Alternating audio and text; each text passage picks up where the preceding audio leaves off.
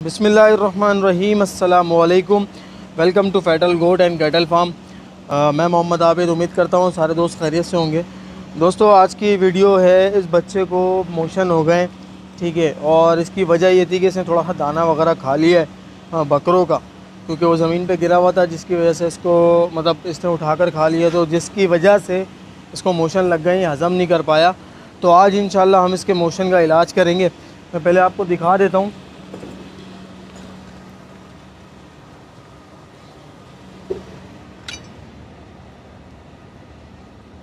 अभी तो खैर इसने दुम नीचे की हुई है भाई। आ, लेकिन ये कि यार काफ़ी मतलब इसको चेहरे से आपको नज़र आ रहा होगा क्योंकि जब मोशन होते हैं ना तो बहुत सारी आ, सामने चीज़ें आती हैं आँखों से पानी भी बहता है और ठंड भी लगती है क्योंकि वीकनेस हो जाती है। ठीक है ये पहले एक नज़ारा देख लें आप लोग।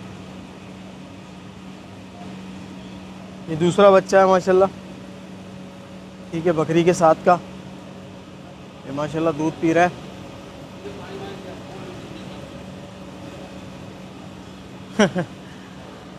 माशाल्लाह माशाल्लाह। अच्छा दोस्तों तो इंशाल्लाह अब जो है इसका इलाज करना है और इसके इलाज के लिए मैं आपको बताऊँगा कि आपने कौन सी दवाई यूज़ करनी है, जो इतने छोटों बच्चों पे यूज़ की जाती है ख़ास तौर पे। और याद रहे कि इतने छोटे बच्चों को कोई किसी किसी किस्म का कोई हैवी डोज इंजेक्शन ना लगाएँ और इंजेक्शन कोई ना ही लगाएँ तो बेहतर है। और जो भी इलाज करें, वो दवाई मुँह से पिलाने वाली हो तो उससे इलाज करें, वो ज़्यादा बेहतर रहता है। क्योंकि इनकी जो है ना मतलब इतना, इतनी इनकी कैपेसिटी इनकी ताकत वगैरह नहीं होती कि कोई हैवी डोज वगैरह बर्दाश्त कर सके। जैसे अगर कोई आप लगा भी देते हैं तो भाई फिर उसका एक अलग साइड इफ़ेक्ट इन पर आ जाता है और फिर वो नुकसान मतलब नुकसानदेह साबित हो सकता है। तो कोशिश करें कि आप ऐसी कोई चीज़ ना दें इनको जो मतलब इनके लिए नुकसानदेह साबित हो। तो इसलिए मेरी भी कोशिश यही होती है कि मैं पहले वही चीज़ आपको बताऊँ जो मैं ख़ुद तजर्बा कर चुका हूँ और ताकि आप लोगों को नुकसान ना हो, बल्कि फ़ायदा ही हो।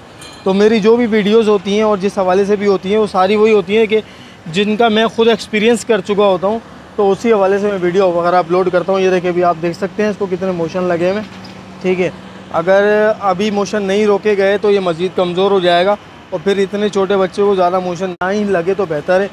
तो अभी आपके साथ अभी आपको दिखाता हूँ कि आपने किस तरीके से मतलब इसको आ, मतलब हैंडल करना है ऐसे बच्चों को। पहले मैं आपको दवाई दिखा देता हूँ। तो भाई ये है दवाई ठीक है? ठीक है? ये दवाई है। इसकी जगह पे आप, अगर आपको ये ना मिले तो इसकी जगह पे आप जो है वो सिक्योर एक्स भी ले सकते हैं। सिक्योर एक्स के नाम से सीरप आता है। वैसे आप ये ले लें, ठीक है? पिकलिन एस ये भी बहुत ज़बरदस्त है। अगर ये ना मिले आपको तो सिक्योर एक्स ले सकते हैं। ये किसी भी वेटरनरी शॉप से मिल जाता है। जानवरों के जो मतलब क्लिनिक वगैरह होते हैं, वहाँ से आसाम से इजीली मिल जाता है। तो स्क्रीनशॉट ले सकते हैं। और अब मैं आपको उसका तरीका बताऊँगा कि इतने छोटे बच्चे को आपने आ, कितना पिलाना होता है। भाई बच्चे को ले गए हम रूम में ताकि उसको दवाई पिला सके। अभी रूम की लाइट जला देते हैं। उसके बाद फिर आपको भी लेके चलते हैं रूम के अंदर। और फिर आपको दिखाता हूँ कि आपने इतने छोटे बच्चों को कितनी पिलानी है दवाई।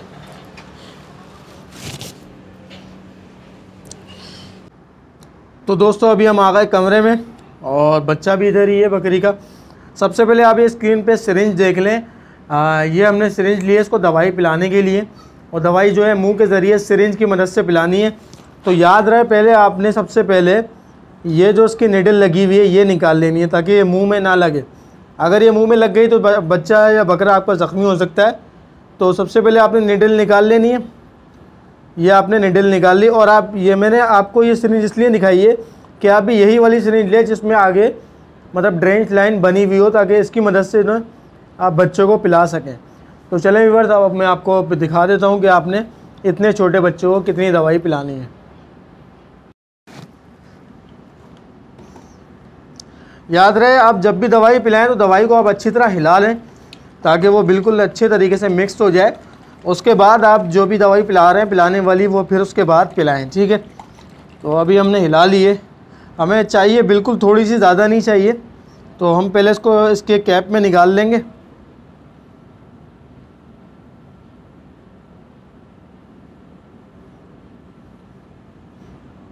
थोड़ी ज़्यादा ही निकल गई है।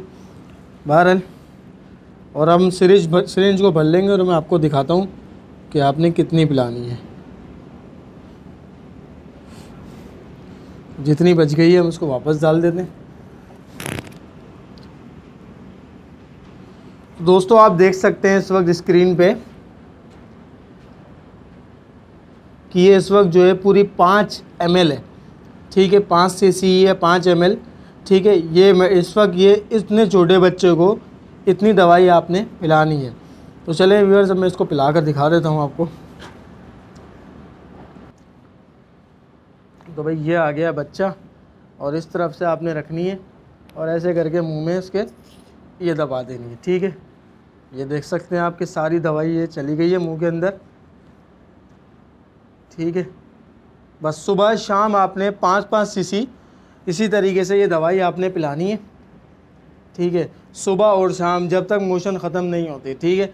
तो भाई ये सिंपल सा तरीका है, कोई ज़्यादा बड़ी साइंस नहीं है, रॉकेट साइंस नहीं है तो आपने इस तरीके से पिला देनी है। तो उम्मीद है दोस्तों आपको वीडियो पसंद आई होगी। अगर वीडियो पसंद आई तो काइंडली वीडियो को लाइक करें चैनल को सब्सक्राइब करें। बेल आइकन का बटन भी लाजमी दबाएँ ताकि मेरी इस किस्म की तमाम इन्फॉर्मेटिव वीडियो आप तक पहुँच सके। मिलेंगे इंशाल्लाह नेक्स्ट वीडियो